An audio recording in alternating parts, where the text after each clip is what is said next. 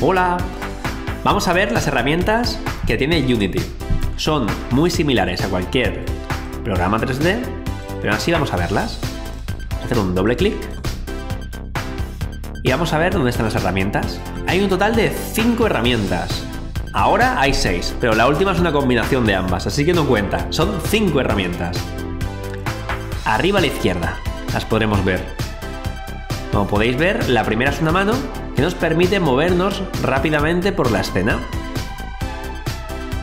La siguiente es la de mover, pero no movernos nosotros, sino, al elemento que tengamos seleccionado. Como podéis ver, sale un que son estas flechitas de aquí, y la podremos mover sin problemas.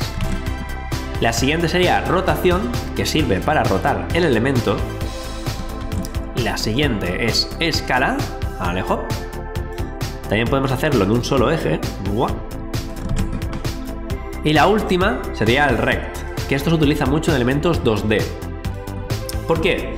Porque nos permite escalar con mucha facilidad en dos ejes, en X y en Y. Pero en 3D, bueno, se queda un poco más floja. Pero para elementos como de interfaz, cosas en, 2D, va muy bien. Y la última es la combinación de tres de ellas. Mover, escalar y rotar. Por eso esta no cuenta. Yo no la cuento. Para mí son 5. Estas primeras 5.